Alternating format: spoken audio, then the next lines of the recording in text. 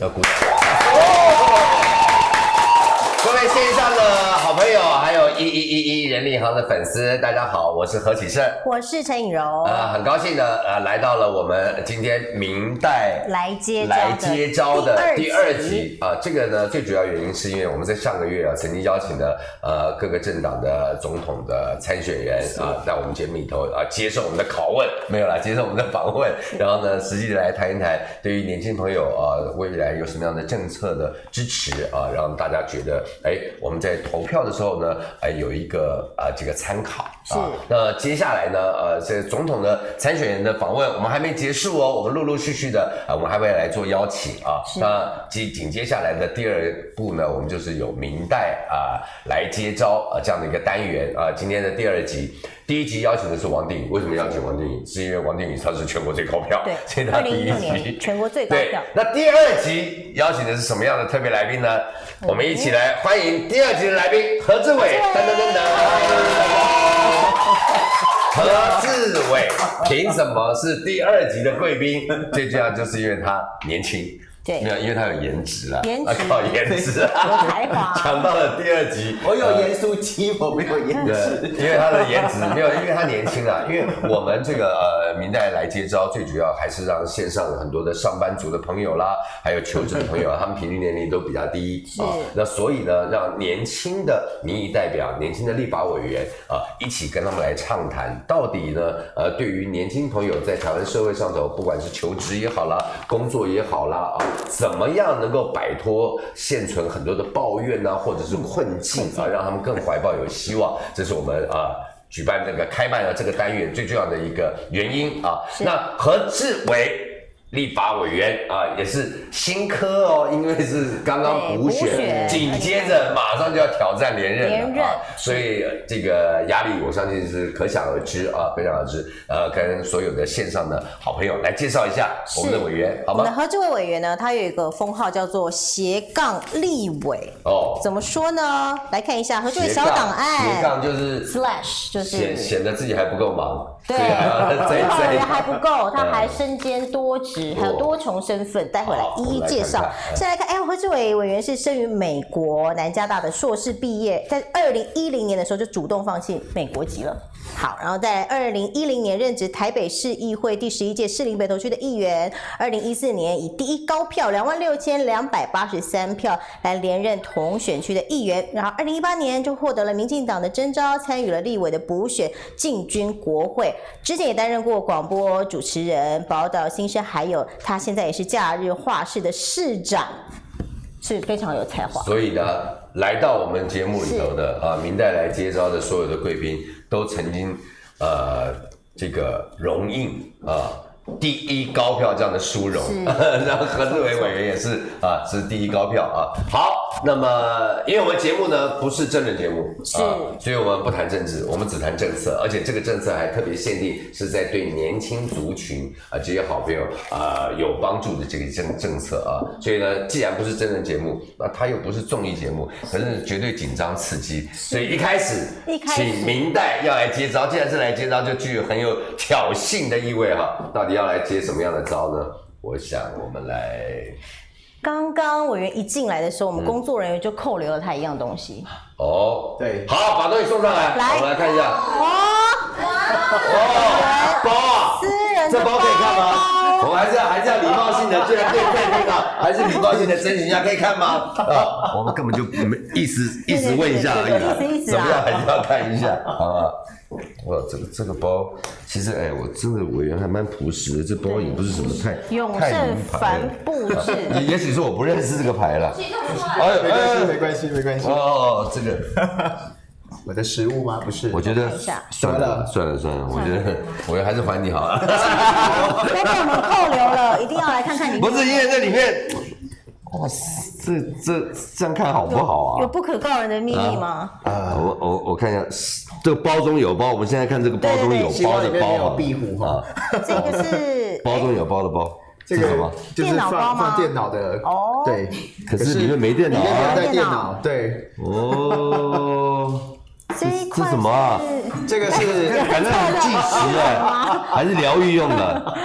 这什么？什么东西？这是我们办公室，我们办公室大概每个礼拜会开一次大会，哎然后因为我们为了防止大家讲太久，所以都会包括我自己，这叫一分半把一个东西讲完这样是子。一个举牌的概对念。哦，这这大这家样是一个一分半。对对对对，而且你不觉得大家就是很紧张的时候放在办公室办公桌中间，然后大家会慢慢讲，然后很疗愈吗？所以办公室内部我们跟同仁或者跟主管之间这个不会更紧张啦。跑完了，快跑完了。对，然后就是他会慢慢讲，慢慢讲，然后其他人有些放空的，至少假装假假在放空的，或者是假装放空，会看一下他，就不会被抓到有人在放空。那我待会跟你泄一个题，我告诉你，你你既然要搞这种压力的，我们待会压力很多。可是你不要有快问快答，我要五秒，再一分半。对于，可是很多时候啊，就是把把重点讲完了，那就好了嘛。对就是这种对这种东西是给我的。可是大家都有手机啊，那手机就定时间就好了，你知定码道店很表。贵吗？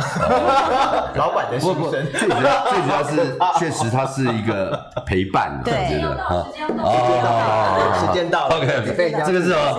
钱包钱啊，包哦，来，我们来看一下，我们来看一下立法委员哈，身上每天对要带多少钱，好不好？这有铜板不算了哈，我们看看这个大钞，哎，真的也没多少，哦也没多，真的是没多少。了，你在外面都是吃人家喝人家的对了，有两层地才两千多。哎我哎，看一叠蓝蓝的了，两千多，另外一层。另，外一层好好对。这边是两千两百，两千两百。两千两百，这边呢其实也不是多少啦，这样照得到吗？其实也不是多可少啦，怕哦！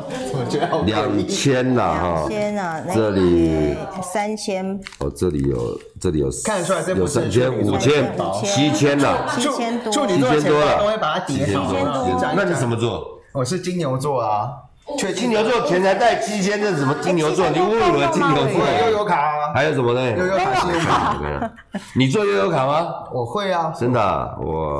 哦，对了，这鉴宝而已啦，对。没有什么。发票，健保卡。你看这个这个这个人，其实信用卡也就是一个提款的啦，对。一个信用，对。哦，怎么了？算朴实啊，算朴实啦了朴实朴实不要说年年纪轻轻的我们的民意代表就吼就移花呢，没有没有哦，这个包也是用了很多年的，也不是名牌的样子。也也不是什么名牌，哎，从这个金属。我用过的就是名牌，啊，对。对对，可以吗？很好，好烦哦，哎还有通告费，你看，哦，这还有这里还有，你也能做做通告费的，你看我这一这有领过通告费的，一看就知道了。啊，这个是法案，你看，呃，相关的法有认真案。有认真。好，这个袋子先放旁边，还有没有？我看一下。看的好细哦，好可哎。必须的啊！这个这个我知道，这个我也常用联络部。对这这是立立法院的吗？是立院三啊宝第一宝，哎，是是是这个联络联络人的本子，这对，个另外另外传输线了啊，传输线用这个还要自己带，你看 朴实吧 啊。其实你看这多朴实啊，都已经要断掉了，还自己用胶带缠起来啊。这个我也我也我也是这样做的，哎，我也用橡皮筋啊，或者是吸管剪一截啊，对，这个这个我也做，没有了，没了没了，呃，还有这边，遥控器哦，这边是名片了，名片。都是名片。片，哦，呃，还有钥匙，还有自己的，其实还蛮杂乱的。这个建议好好的整理一下。好是。因为为什么？因为有钱人通常他的那个呃皮夹都整理的蛮好的。真的。好，好。好。我跟你讲，你喘不过气来，好险因为没有没有因为这个这个包包看完了，我还有别的。对呃还有别的好，考验。来拿走。好，我们请哎。有观众问说，委员感好像有一点点旧旧。对对对对，这这个部分，你对于物品的使用上头，你你个人是有什么样的习性？这真的啊、你你包也也是感觉上，我猜这个包没有七年也有八年，就还能够用啊，而且又好用啊，就这样子啊。而且你不觉得那种钱包用久了之后，它会有一个结构松散的感觉，所以摸起来呢，手感很好摸手感很好。对，旧东西它有它的那种温润的感觉。你不太换新的哈对。一有一些有一些物品那，个金牛座就喜欢老东西，对，哦是吗对，怪他，我有老灵魂。是哦怀旧，而且不追求名牌，非常朴实。其实还好啦，就是好用就好。而且那个刚好那那个钱包还有个拉链，所以不会因为它跑来跑去、甩来甩去，它的铜板呢会掉出来。对所以有的会超务实，金牛座超务实。对，这也是这也是金牛座的个性。而且那个有时候走路会很怕有那种铜板声嘛，嗯，那如果它是有拉链的，它就不会有那种 killing k a l a n killing k a l a n 就是农历七月你边走路还有铃铛声，那其实是很可怕的。OK，好，那接下来还有另外一个挑战哦，来来来，就是我们有个快问快答，哎快问快答。来测试一下。答错会被惩罚吗？呃，会惩罚再说。好好 不会惩罚惩罚，就是在一秒钟之内把这边写个光不会。惩罚就乱答。我们快问快答不行的，不行的，哎，很多网友在看哦，他也是在网友在解释你，因为里面可能会问到一些选区的事情。是 OK，好请委员三秒内答出来，是？是，来了，来看第一题。哎，最近哪款悠游卡最关关夯？悠悠卡。哎呀，昨天是什么日子？我差一点被普渡掉的日子，普渡。不对，没错。现在有没有另一半？好像有，好像没有。好像有，好像有。现在回答不行啊，好像有，好像没有。也就是说是在暧昧期的意思，对不对？好像有，好像没有。好像有，好像没有等。一下这个，等一下再继续追问。若隐若现。七夕跟谁一起过？我跟超多人一起过的哎，至少超过五千人。哦，你参加什么活动？说说明一下。哎，跟你都一起过。你你讲其中一个人谁？讲一个。一个五千人其中之一，观世音菩萨，他是人吗？他是我神。那天就是要拜拜啊，到处跑啊。好，第五题，基本工资现在调涨到多少？二哎二八五零零，二二二三对零对，哦，二三二三八零。二三八零。时薪时薪的部分一八五是不是？一五八，一五八，没有错，希望未来可以一八五。第六题全球最卖座的电影，啊，何启胜，不是那个，一部电影了。何启胜中文字文，Adventures 对 Adventures，啊，没错，没错，没错，复仇者联复仇者盟联盟 Avengers 逼近三十亿美金，是的，来好看第七题，大同志林一日游，你最推荐什么行程？跟着何志伟出去玩，就这样子，就这样子。好那你愿不愿意办这么一场活动呢？对啊比如把它干脆就固定下来。其实我们那边有山区阳明山，然后又有呃社子岛，那边还有迎新码头。是迎新码头可以冲浪哦，而且真的超多比基尼，然后超多那种八块腹肌在那边，哦很屌。而且那就是我们一手打造，好像在社子岛就在社子岛，然后我们可以先早上去爬山，在阳明山爬完之后直接去冲浪，把汗水全部洗掉，然后呢再去大同区吃小吃。大同区很多美食，对对，然后那边还有很多用中药材还有药酒做出来的调酒，很了不起，喝了之后保证身体病变给。哎，你说的，病变狗不是什么坏事啊，这是狗身体好的意思是这叫做病变狗。变 调酒已经是过去式，现在叫碰碰酒。好的，第八题节，目效果，节目效果。直播天王连千亿最近杠上了哪个知名的综艺主持人？吴宗宪吧，丢，吴宗宪，没错没错。哎，迫使吴宗宪道你们那歉。个导播好凶哦，一直这样，嗯，这一题希望委员可以大声回答出来好。一一人力银行将今年定定为职场的幸福元年，大力推动什么呢？幸福企业。没错没错没错。来，最后一题，第十题，选民说的哪一句话让你印象最深刻？你好帅。你好帅啊！这种，因为等一下我这边要讲一下，我从来没有觉得自己是帅的，认真我从来不会觉得自己是帅，所以当他说我很帅的时候，觉得、呃、那个我也没有长得很高，所以我认为帅哥应该是那种一八五之类，我的心中的帅哥。可是你只有一八零，对不对？对，差差五公分。分啦。一八一啊，不所以我就觉得，诶这个你应该常听到，没有啦，拜托嘞，怎么会让你印象深刻选民？讲的就是说，有时候可能帮帮忙人家做完一件事，他他专门打电话跟跟你说声谢谢，对，然后好险有你，啊，那只是会觉得很感动啊，就是你至少做了一些事情对人家是好的，是。在我手中其实经历过非常大型的案子过，像之前的八仙城爆，还有像郑捷郑捷的受害者的家属，这边都是我们帮忙协调的。那当然，台湾前一阵子也发生很多像 U Gym，他们很多职场上面的员工被积欠薪资，然后老板又落跑，然后老板后来还告告他的员工等等的，就是其实很多劳资纠纷啊，甚至是呃一些。关乎生死的东西，其实，在我们这一份工作都碰得到。所以，想要变成超人的话，欢迎来我们办公室。我觉得这个民意代表存在的价值，其实也就在这个地方。也就是说，很多呃社会基层的这些小老百姓，他求助无门，然后呢，总是希望说能够有一些有利人士，然后能够帮忙他们。其实真的就是有时候像他们遇到问题，可能走正常的、正规的政府的路径。可能像之前有被积欠薪资，他可能一下要劳动部，然后劳动部又要法院去做认证，认证再回来就走呃劳动局，就中央地方法院那样跑来跑去，跑来跑去。请问一下，假设说一个员工他一个月薪资三万多，还不到四万，嗯，那光是这半年时间他这样去 run，又要中间又要搞又要找工作，然后又要去处理他自己的事情，如果没有民意代表在中间把人全部串起来。的话，其实他真的是很痛苦。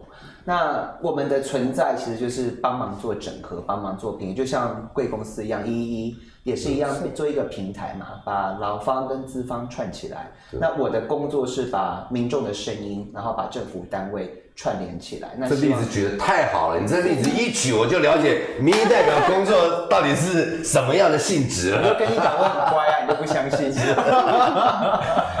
这个我们今天访问到何志伟委员啊，最主要是因为他是。我看到资料上面说是自称，为什么要叫自称是斜杠立委呢？呃。我其实，在从政之前，就是曾经做过卖车的，然后也在餐厅。对我，我是一个很好的 sales 哦。哦，对，而且你有这种历练啊？有啊，有啊。那时候刚好是在美国读书嘛，美国景气最好，就是你这样笑脸也卖一台车，然后臭脸也卖一台车，就觉得好神奇哦。那就卖车，然后我自己还有去教过画画，然后在媒体工作过，在。宝岛联播里面当 DJ，一做就做十年了哦。然后还有当过节目的主持人，就是政论节目的主持人。然后自己还会，我还是为，我还你说这是都在明代前吗？呃，明代之前，然后明代过程当中，这是过去的事。然后我现在还是精品咖啡协会的荣誉会长哎，就是冲咖啡。那对，然后让他抓个羊哈，然后我还有幼幼教幼教协会，就是可能因为其实老实说啦，我我觉得台湾的产官学有一点分离，对，就是像最近要买洗面乳，然后油水分离有没有？产官学也是在分离当中。那到底如何把民众的声音传递起来？那其实我过去可能帮他们做很多事情，包含像我也是中医师工会的顾问。就在今天，我们的中医啊跟中药纳入长照，那示范对，刚刚开完记者会，示范点就在我的选区，对，所以你要轰轰轰可以来找我哈。还好还不需要，对，那我 维持的很好，谢谢委员关心。最后会被开除？不会，我们就我们就把不同的不同的。产业别啊，或者说不同的呃，可能需要帮忙，就帮他们发声。那相处久了之后，他就啊，跟着你来当我们理事长，或者是荣誉理事长之类的。哦，对，很有。但是但是，今天我们最最呃好奇的应该是哈，就是委员的在绘画方面的成就，对，是吗？艺术圈好像有很高的评价哦。对，我我的了解就是呃，之前是假日花市的，算是。呃，市长，市市长，对啊，市长，所以说这个也就是在铺路，未来就是要选台北市市长。先预祝，先预祝，先预祝。假日花市，我我记得在呃，我如果没有记错，应该是在两年多前，嗯啊，在世贸三馆，对，那个时候有一个也举办呃一个一个画展啊，或者艺术展。啊，里头呢，那时候我也有经手一个艺术经济叫梁权大师，他是香港电影金像奖讲座的创作人，那是一九九一年就接受香港电影协会的委托，所以到今天呃二十几年都是用他的这个像还放在维多利亚港。然后，所以这个大师有去参加何志伟委员所举办的那样的一个呃展览里头，呃，所以我了解这一段。但是绘画这个部分，很好奇耶，怎么会当初怎么会接触到画画？好像比较少听到一般人会接触艺术这一块。呃，其实我很小很小的时候，大概三岁四岁的时候，其实我我们家就是墙壁都被我画乱七八糟。哦，我当时就是我们家基本上到处乱泼这样子，所以。从小被打到大，没有啦，就一直被揍这样子。但是我被被被被这个被长辈揍，然后我妈因为说啊，没关系，你喜欢画就给他画这样子。所以我们家从小就是有这个反对派跟主战派这样，还有这个保护派跟主主打派这样子嘛。但我可以想见，就是你从小家里面是不铺壁纸的，小时候就真的 会欧北狗这样子，然后还画到人家的车上，画到人家的墙壁上。因为老师出了一个题目，就是画爸爸的车，所以你就开始回去画爸爸的车。那好些以前以前都还是蜡笔之类的啦，或者是水彩，对那个还好清一些些。那后来慢慢长大，我觉得台湾的教育其实对于艺术这一块是不是很很 care？那我后来我去美国回去读书嘛，那我那个一个老师，他我真的这一辈子最感谢的一个老师叫 Burnett。他其实是一个不负责任，也没有不太跟你讲话，然后他也不太理你的一个老师，可是他却给我人生当中第一份对自己的算是相对应的自信。哦，为什么？为什么一个不负责任老师？你画一画，你也知道那种学生都会说，像你画完之后，哎，那老师这个可以吗？老师这个可以吗？你会去问他意见吗？然后就这样假装，就是真的。我现在长大之后是知道他是假装的，他就假装看一下 masterpiece，然后就呼呼，还是改立欧北画这样子。那你也知道，那种十五六岁的小朋友很容易被骗啊。他就觉得哇哦，老师就，而且他是那种，他是长一副很高贵的白人脸，你知道吗？女女性，男生男生男生。然后他老婆也是偶尔会许一下，那就开始画。而且我那时候画的时候。我就发现说，找到人生当中第一份的自信，然后这个是十五六岁的时候，对对对，然后而且我自己画东西，你也知道，那个年纪的学生，其实我们有升学压力，你很难坐下来好好读书。那我以前其实成绩很差，很差，烂到爆掉。那开始有画画之后，我觉得我的专注力是有提升。那更重要是找到你对自己的认识，然后其实。呃，人类的人脑是比我们想象中更厉害，我们大概可以抵过这种十几台有人工智慧的手机吧。嗯，你很多潜意识会在里面找出来跟自己沟通。那我自己开始画画之后，我就发现我的人生其实有所改变。那我读完书之后回来台湾，我开始在推儿童艺术，一推就推十年。嗯，那最后我们刚刚讲的启胜哥，还有刚刚讲的那个假日画室画画的画，我们立志要成为全台湾最大的非盈利的艺术交易平台。而且是采会员制的，那目前已经活了快活了四年了。那里面有个叫姚通吉姚老师，他也是他说他喊一个口号，他不是政治人物，他说我散尽家财，嗯，也要让台湾粉身碎骨需要吗？没有，他需要 啊，只有散尽家财。他骨头很硬，他骨架很好，他没有骨质疏松，每天喝那那哈。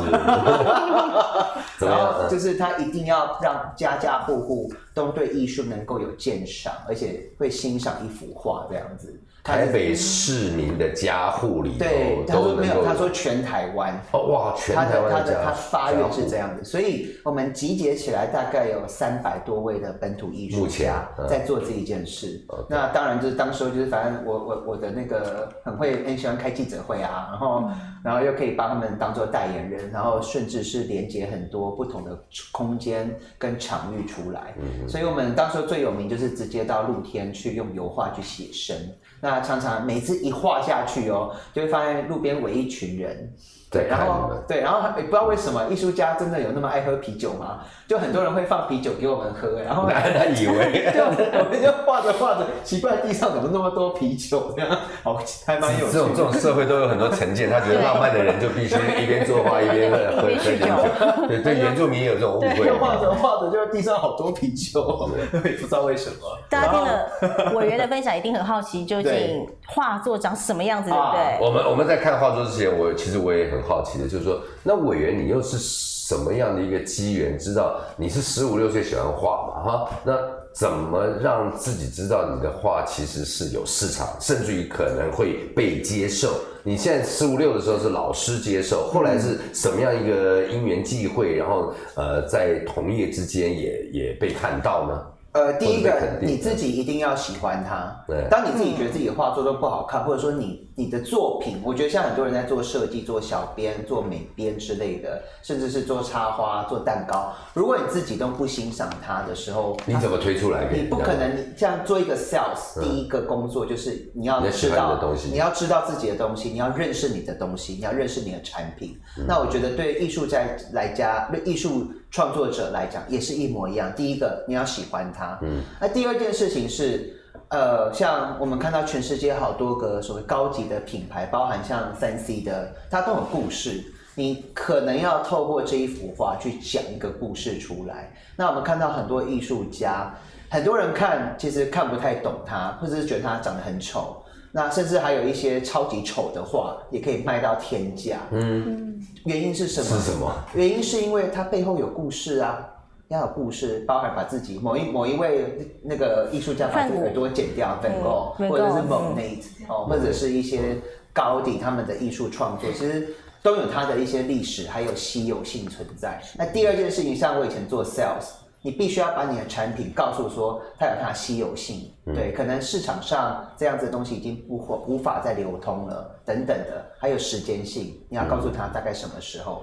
所以像我自己的画作，我是从来不卖的。那市场上面大概只有流通五幅我的作品而已。哦这五幅是我当时候帮，我自己以前是单亲家庭嘛，那我是帮那些没有爸爸、没有妈妈的小孩子宣化给他们，让他们去买。那听说价格标的还蛮漂亮的，是所以是是我的作品市场上只有五幅，哦。以后也应该不会再有这样子，除非有很棒的 NGO，所以现在赶快跟那个何委员赶快套好交情，希望何委员能够正化，因为这个市场上他刚才特别强调了就，这个价值在于稀有性，对 稀有性。而且我的画作有的有很大的，有的有很小的，哦。对，那就是让它有故事性。所以我我我认为我自己对自己的定义是，我绘画是跟自己在做一个沟通。那我的画作里面每一个都是我自己那个时刻的故事在里面。口说无凭，对赶快来看看来看看到底画的有多好啊！确实说好但但是我是我会我会觉得刚刚呃何委员讲的有一段啊是挺让令人感动的。我觉得有这么一个姚姚姓的老师啊，他立志啊，就是要让全台的呃家户里头都能够对于艺术的鉴赏啊，嗯哪哪怕是收藏啊，我觉得这件是一件好的事情。对我觉得他是一个心灵上的的陶冶跟提升啊。嗯我觉得有一个美学的素养，我们在看很多事情，乃至于连心性都会因为美而有所有所改变对。来，我们看一下。这个色彩很饱和，你呃，委员是属于什么样的画风或画派？呃我的感觉是比较印象哈，对，有人说我是野兽派，野兽派对嗯。那这一幅画作其实还蛮大一幅的，大概我们让我们让呃，那那那多大多大说明一下？大概有大概大概有一个有半扇门这么大，哇，哦，一半的门这样子。然后这一幅画是用泼出来的，在车库里面画的。哦对，哦，泼的，嗯。嗯嗯，尹柔看出来是什么？来跟跟委员交流一下，我们我们来培养我们自己的这个艺术的鉴赏能力。你看它那个下方啊，中间下方那个那个地方的那个，我们从荧幕上这样看啊，其实还蛮像是一个石块的反光哎。其实你看到这一幅那一块啊画，这一幅画老师讲，我自己也不知道自己在画什么。哎呀，那我们干嘛？没有没有为赋新诗强说我愁。刚才想说，像草原啊，一有点可是夕阳的感觉可是我就。是喜欢它，因为色彩有的时候因为这一幅画最主要它的呈现方式是我一直在刷颜色，一直在喷水，嗯所以它自己的产生的产生的线条是自自然产生的，嗯并不是我特别把它画出来，就是反正我一直泼它东西这样，一直泼上去，然后颜色就自己一直跑出来。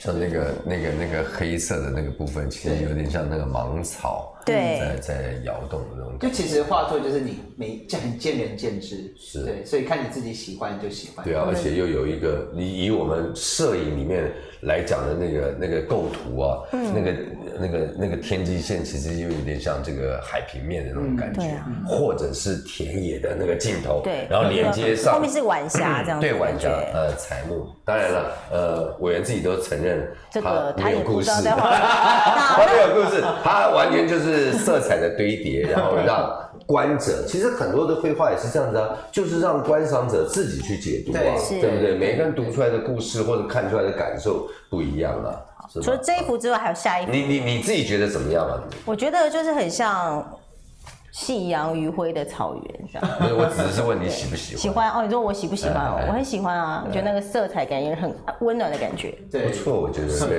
又有一点又有点荧光，其实还蛮年轻，的。这一幅哦，就是这个就热情如火了嗯这个好像就有主题了，我已经看到了。Rose，对，这一幅好像是前年的情人节在画的吧？是不是？还是大前年忘记了，哦。反正就是一坨红红的，然后狗雷就是哦被狗的这样子。其实印象派本来也就是在于色彩。对啊，对，是用色彩来表达情感啦。是。嗯所以我我还是觉得这一幅有点小小画的素养，我有是想我有还可以吗？还可以吗？很棒很小棒。小素养，但是就就以颜色的堆叠，他说不出来它是一个什么物件，否则就不会叫印象嘛。嗯，对对？那我觉得这幅画画的时候是想要送给谁呢？这一幅画当初好像是哦，我想起来，好像是我们那个学校希望我们现场 demo 一个东西嘛，然后就大概所以这幅画是已经送出去了吗？还没有，还没有，哦还没有在你手上有，我记得好像是有人请我们画一幅画出来给大家看。然后这一幅画其实它的表现是你用很多颜色上去，然后里面有加一点那种画的油。所以它是颜色会浮起来，中间那个一圈的地方，然后再把它刮开来，所以就还有用刮刀就是有用刮刀这样子。哦有用，刮刀那差不多这个很快，我这一幅画大概前前后后才花二十分钟就画出哦，真的吗？哦，那很厉害。因为哈，你看那个它在灰色的那个地方的表现，你看它只有一个单色，其实那那个里面的那个色彩其实是很复杂的。它有紫色，在在这个呃右右右边右下角的啊右边偏下面的那个那个那个地方的处理，哇，你好厉害哦！还还行，对不对？猛将这个也是哎没有没有没有，这样一点点小小的认识啊。然后呢，其实就是因为这个画啊，是我们观者去来表达我们怎么来看这个画，那然后去寻求作者的一个认同，就是说有的时候观者讲出来的，作者还未必有理解到哦。就是我哎，我画作没有没有没有这个想法，哎，对对对对被你这样讲，好像也也是是这样。其实它像不像一个你从上方看上去，特别是在呃这个左上方的地方，像不像是一个井？可这个井的内容呢，它是一个红色的底，所以就会让人家就觉得说，哎，其实也怀抱着一个一个希望了。那个井的景其实是黑，就是黑色的矮这个景边嘛。有粉丝说也有点像呐喊，有人有说像呐喊，对啊对啊情人节有时候很容易吵架 哦。但是它是一个会让人家喜欢，特别是在颜色的布局上，在颜色的布局上面，它的轻重。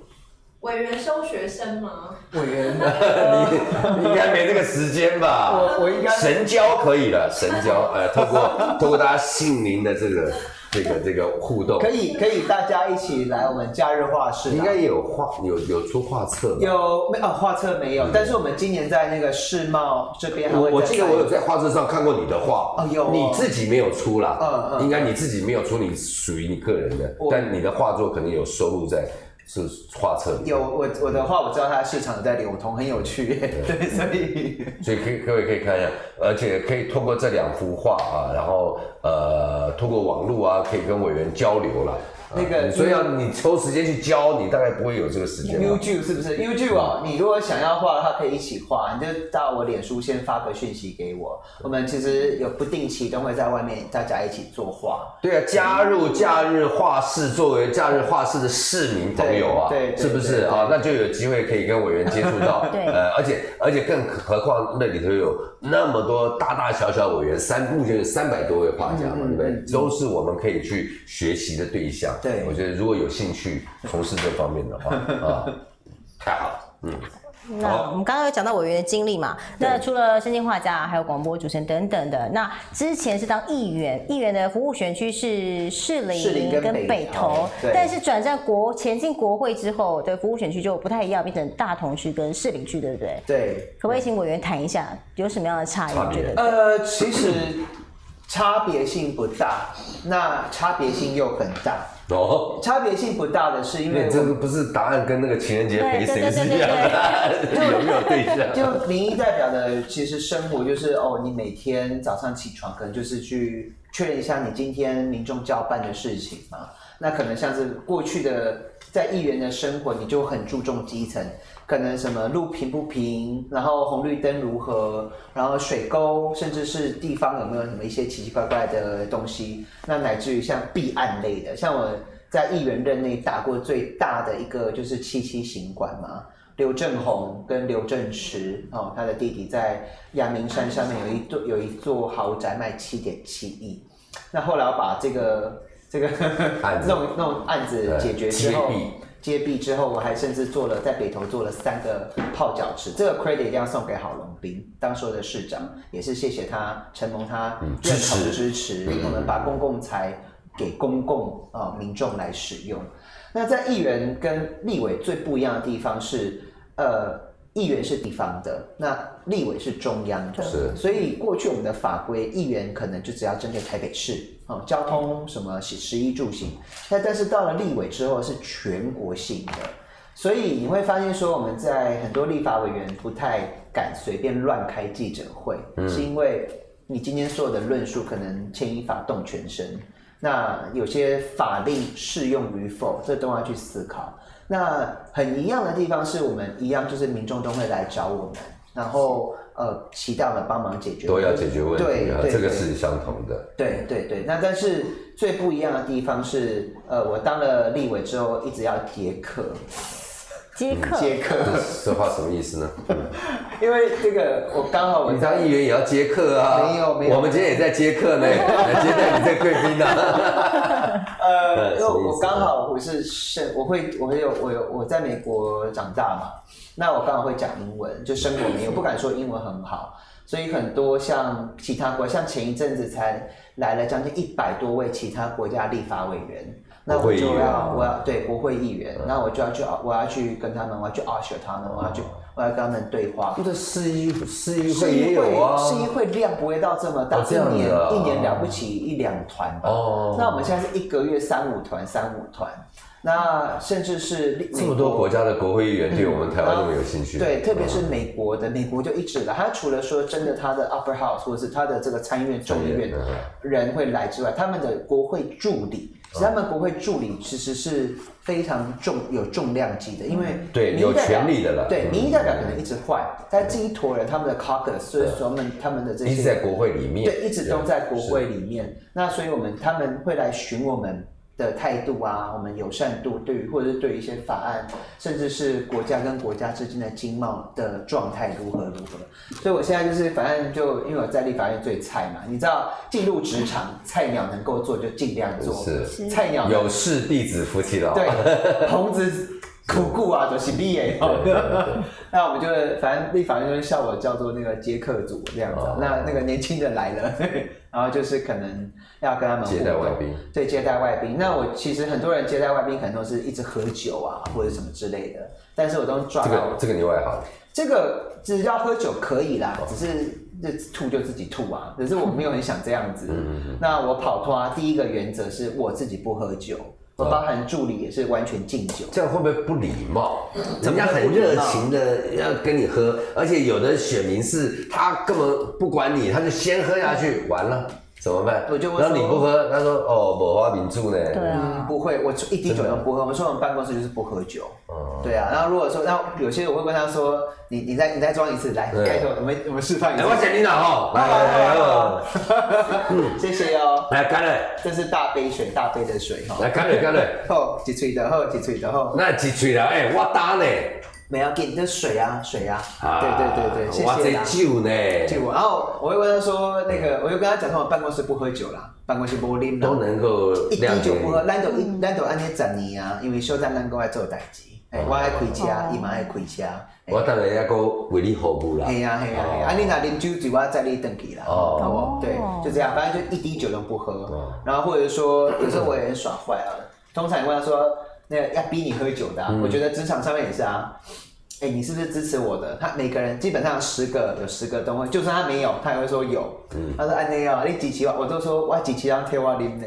哦，其实还特支持我的替我喝啊哦，对。有的有的选民是说这一杯下去哈，一百票给你。我觉得不可能、啊，有有碰过了不可能，不可能，会通常会这样乱喊的都是空的。空的其实有时候我们自己，我像我们有业务底子的人都知道，扎扎实实会挺你的，或者真的有实力的，不会在那跟你乱喊。表表现会不一样，对，会不一样，会所以我觉得，就因为我觉得我办公室我的员工也是有家庭有小孩，那隔天也要上班，那为什么他们要喝酒呢？嗯他们来卖脑又不卖肝，这是我对我办公室，我不能说我是幸福企业啦，因为明代办公室都很压榨，嗯是是 对不起，但是我可以为他们做的，老板 hold 住了，他们就能够 hold 住。了解，所以其实民意代表很多样态啦，也有像这种不喝酒的，就像很多人呃业务业绩做得好的，也不见得是喝酒所以很多先生每次跟太太说啊，你不了解啦，男人在外面打拼很辛苦啦，我要签多少的单子出来，对不对？所以我每天要去应酬，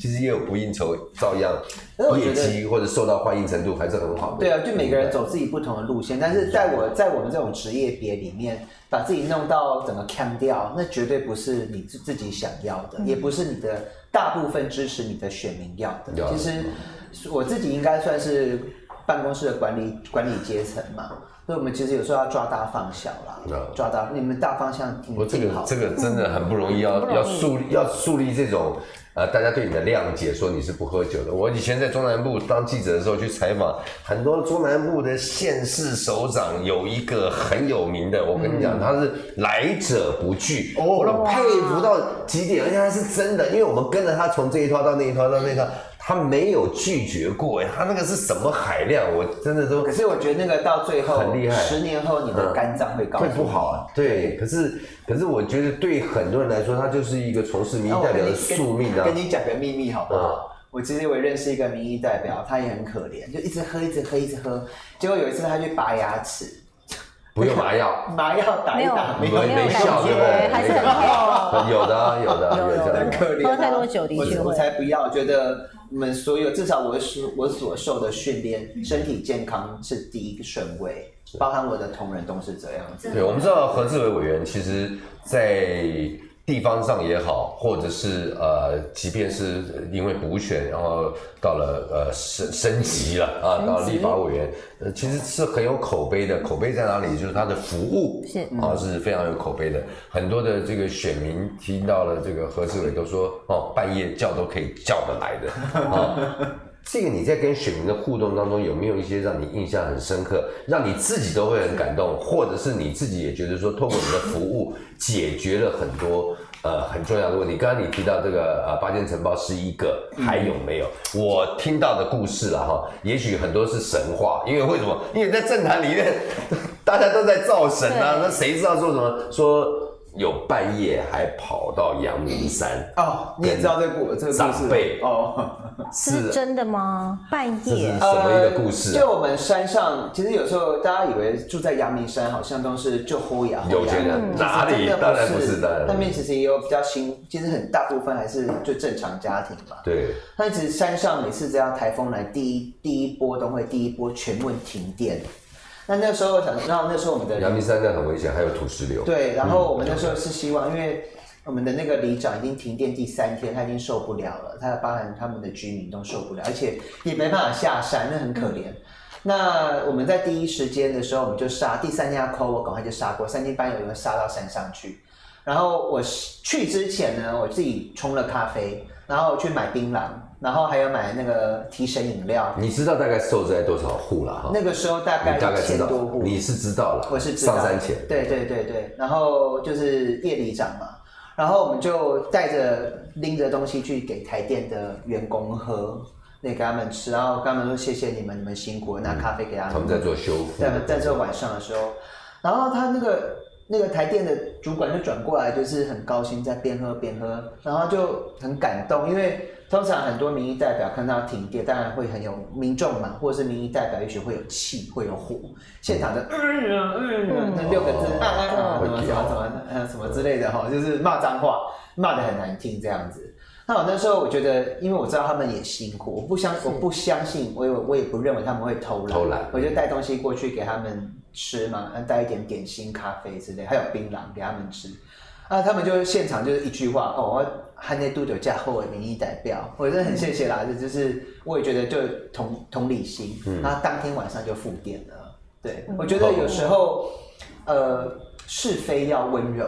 哦，这个一一个叫王鼎钧，他一个记者写的字，我觉得是非其以实好好讲。对对对对哦，真的哦，哎王鼎钧我好朋，友他看着我长大的，是啊 哦虽然他很年轻，他这一句话这几个字，我觉得一直记在心里面。我觉得有时候一样是一样是一句话，一样是你一个目标要达成，你好好讲，慢慢讲就 OK 了。那我印象中最呃选民服务最深刻的一个 case 是。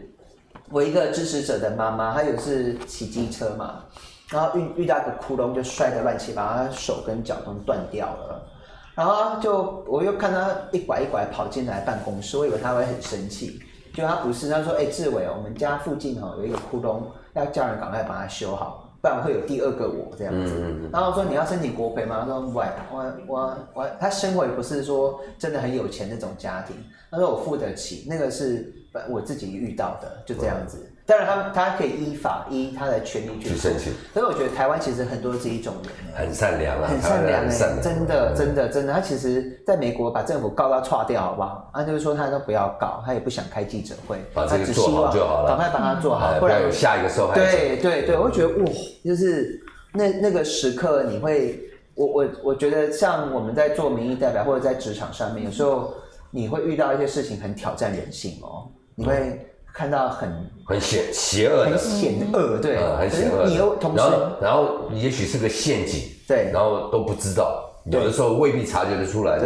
对对。呃，越走下去越发现说哇，我这 呃，但是同时你会遇到，你会看到很多，虽然那一刹那而已，可是那个人性的光辉你是可以看得到的。嗯对，所以就这个还是多哈，很多这样的还是很多很多，了而且那种他是善恶的还是善意提醒，他来也不骂你，也没有在生气，就是好好讲这样子。所以我觉得我我自己认为我应该是还蛮还算疗愈系的啦。这个工作到底快不快乐？我的工作吗？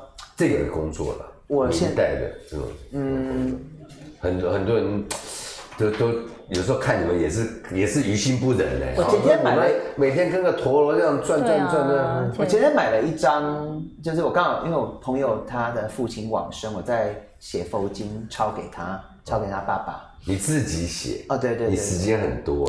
没有没有，就是空下来就写给他，因为他爸真的是对我们很好。OK，然后就写个佛经给他。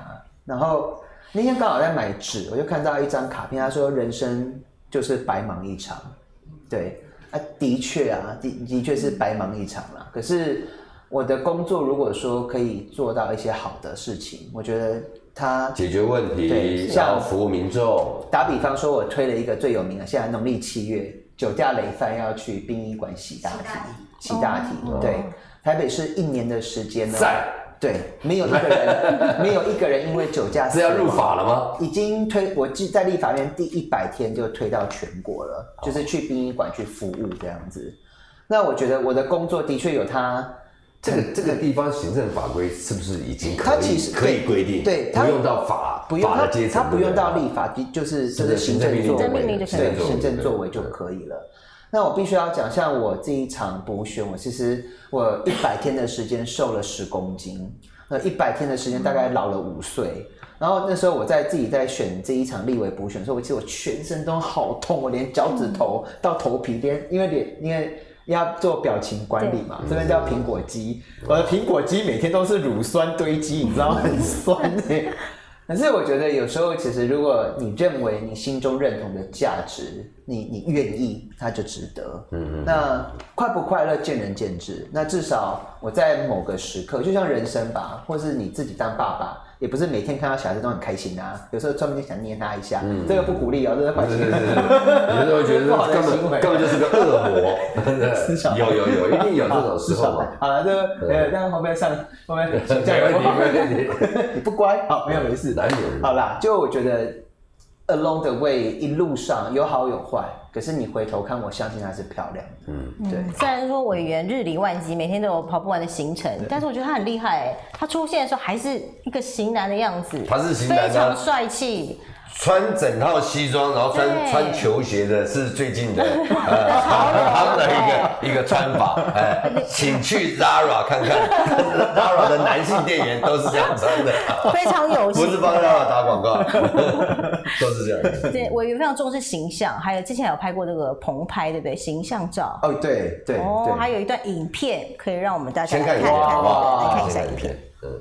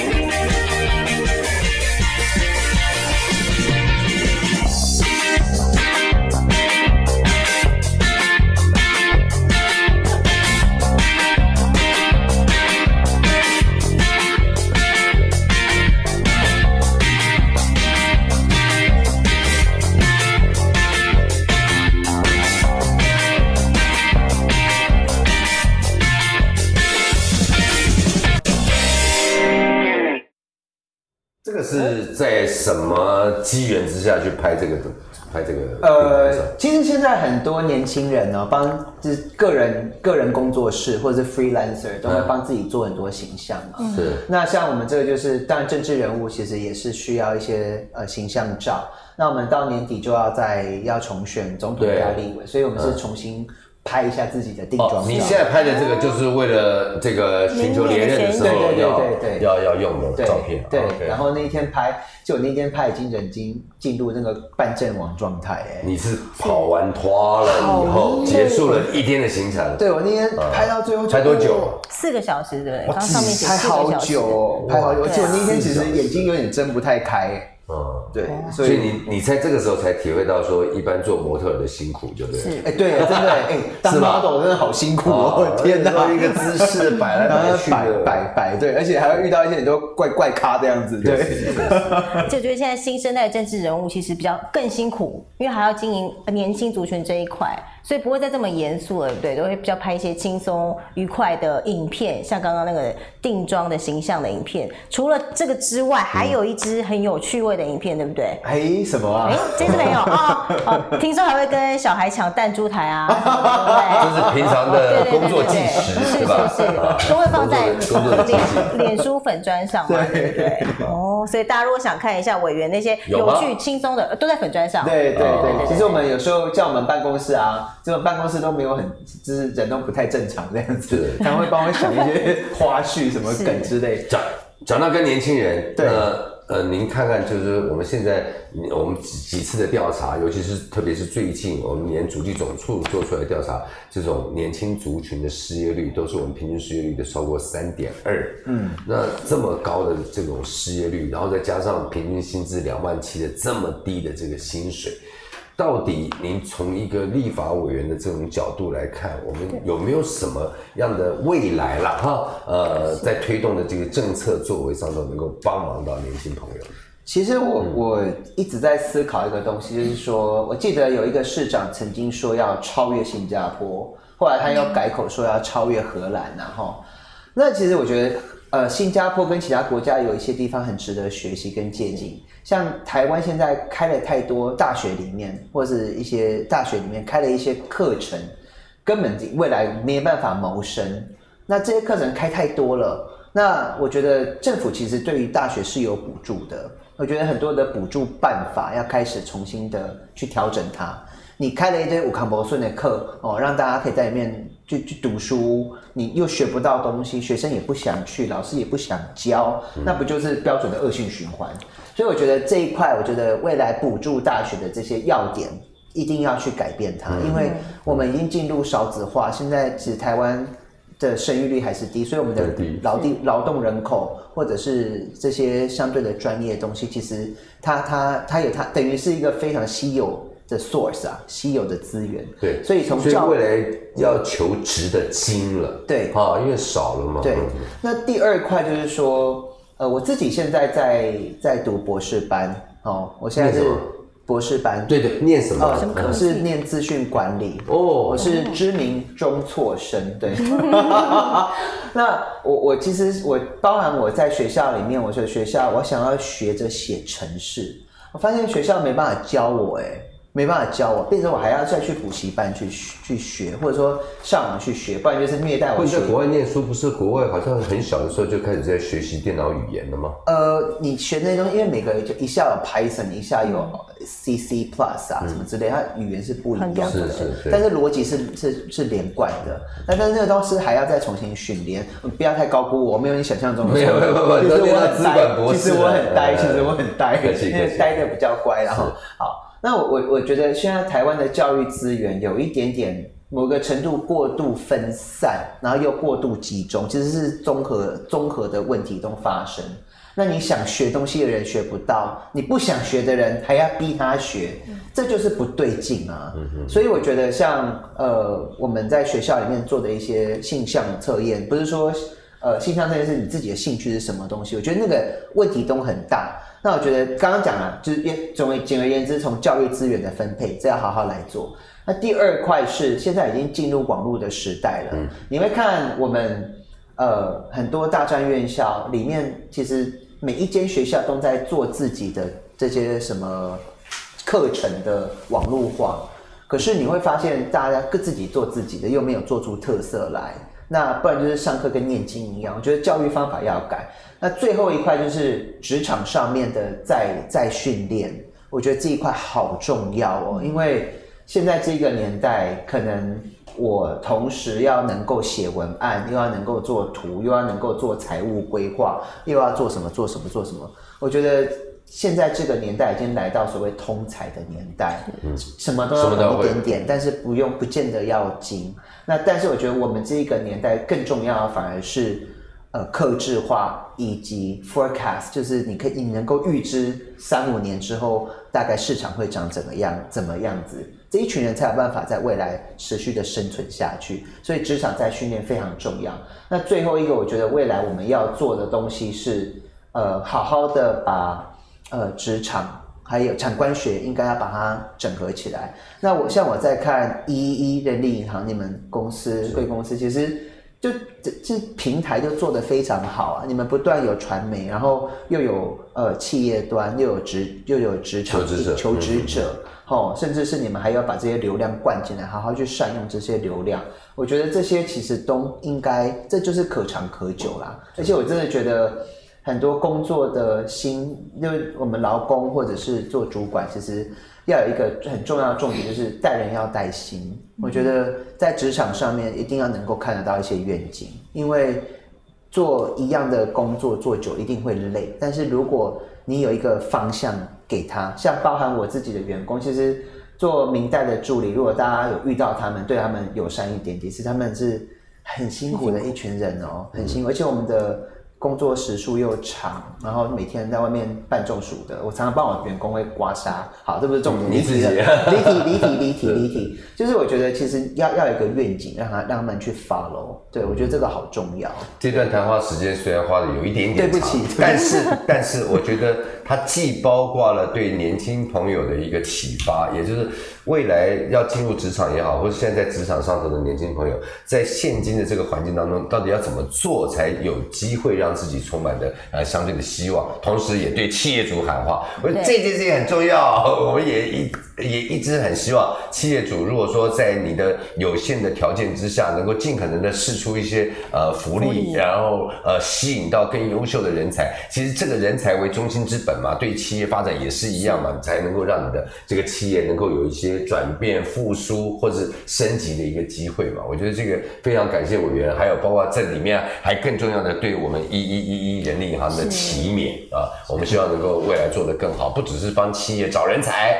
啊，更还能够为企业能够行销，企业是还要帮企业行销啊，然后呢，然后让年轻的朋友呢，在这个地方能够获得，透过一一一一的平台，透过能够有更多元的一个发展。今天真的非常谢谢委员谢谢委员啊，在百忙当中还来到这个地方，跟我们线上的好朋友 有这么 close、这么亲近的一个接触。我们在每一个礼拜都会有邀请两位啊民意代表来参加我们这个明代来接招接招这样的一个单元。是下一个礼拜下周我们要邀请是的是是民进党立委陈廷飞，一样在下午四点钟啊。大家要继续锁定喽。锁定收看啊，好不好？有更多的呃新闻讯息也好，或者是说你所不知道明代它的故事，还有就是明代民意代表他们在自己的立法工作上头怎么样来推动一些帮助年轻朋友在职业发展更为顺利啊、的一些做法，都要锁定我们的这个节目，同时还可以在网络上留言哦，你有任何的问题呃要来请教我们的邀请来的明代啊、都随时欢迎你，好不好？今天节目就进行到这边，明代来接招，我们下个礼拜再见，谢谢，谢谢谢谢，谢谢委员，谢谢我们总长。啊，感恩感恩。